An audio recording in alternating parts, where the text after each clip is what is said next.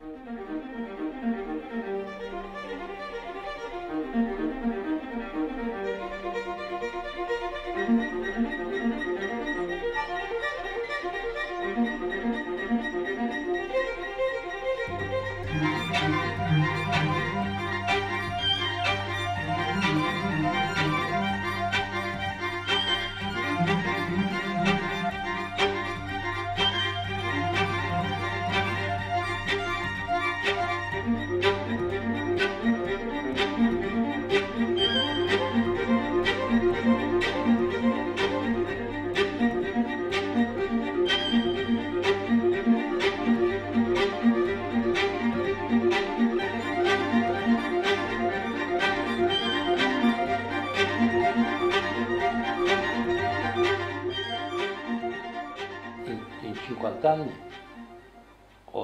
68 anni del mio lavoro, la fotografia è diventata una cosa diversa come, come il fatto di, di andare cavallo, di andare a cavallo, di andare in macchina.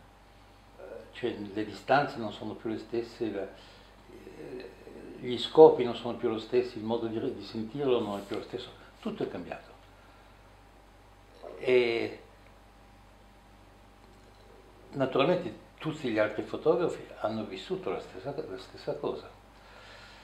Eh, però io ho il sentimento che, da una parte perché sono vissuto e ho fotografato per molto tempo, e d'altra parte perché mi sono interessato a- a- alle nuove forme di fotografia e al- alle nuove tecniche, ai nuovi apparecchi. Io questo cambiamento l'ho, eh, vissuto nelle mie fotografie, quando invece la maggior parte dei miei amici, fotografi anche che io stimo moltissimo, sono un po' rimasti alla fotografia che, che era stata la loro nella loro gioventù.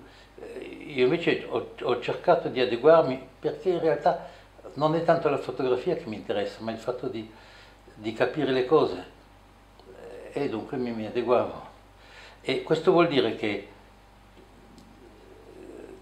che oggi quelli che ammirano e, e espongono e comprano e pubblicano le mie foto degli anni 50 e 60 non si interessano affatto di quello che faccio oggi. Quando io invece ho voglia di mostrare che una continuità c'è.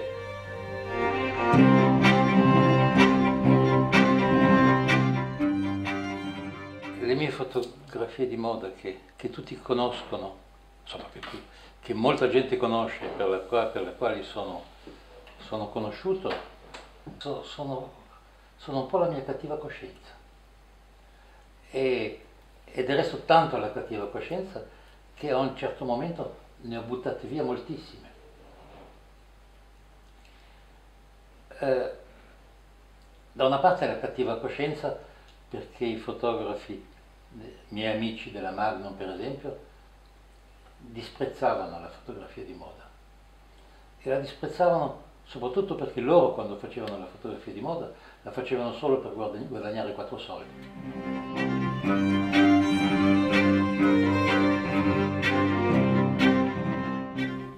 E allora io avevo una specie di don chisciottismo eh, che mi faceva credere che, che questa fosse una crociata eh, per, eh, per qualche cosa che meritava una crociata, un- una crociata per la verità o per la bellezza della donna o quello che è.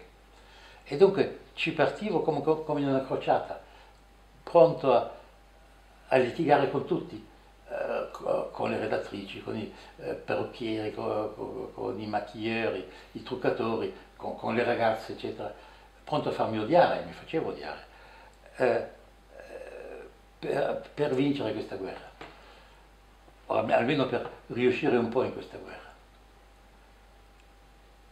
E allora, eh, al di là e contrariamente al disprezzo che ho e che esprimo continuamente per queste mie foto di moda, ho anche la nostalgia di, di certi momenti di intensità, quando la ragazza capiva quello che cercavo e quando lo cercavamo insieme e quando ci riuscivamo, che non succedeva spesso, ma succedeva.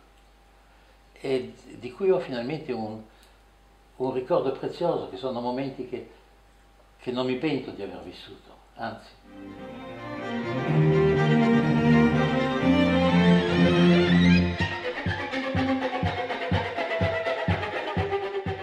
Perché la fotografia è l'arte di non premere il bottone? Senti, è, è, un, è, un, modo, eh, è un modo, eh, è, un parago, è un paradosso, è, un, è, una battuta, però vuol dire qualcosa. E vuol dire che quando io guardo e dico questo no, questo non lo voglio fotografare.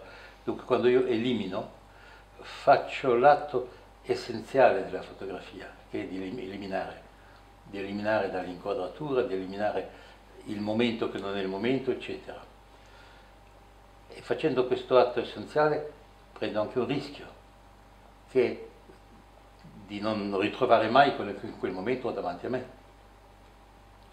Allora questo questa volontà di eliminazione e questo rischio è un po' come se un'energia si accumulasse, che poi servirà a un altro momento, cioè quello che io avevo, ho creduto di vedere e che non ho fotografato perché non mi bastava, eh, forse lo aspetto all'angolo della prossima svolta della prossima strada e dunque lo riconoscerò quando lo vedo.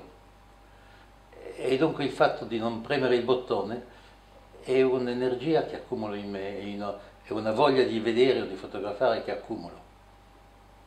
Dunque è per questo che mi sembra importante.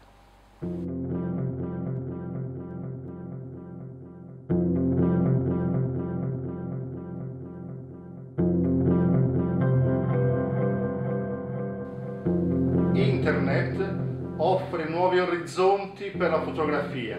In particolare cosa mi dice del suo lavoro sull'iPad? Beh, L'iPad non è esattamente internet, è un po' diverso in un certo senso un po' meglio, eh, nel senso che sull'iPad io lo so che chi lo guarderà vedrà esattamente quello che io gli volevo mostrare, invece sull'internet dipende dal, uh, dal computer uh, di, di, di, chi lo guarda e da molte cose. Dunque l'internet è, uh, l'iPad è più, è più preciso che l'internet ma in ogni modo è certo che,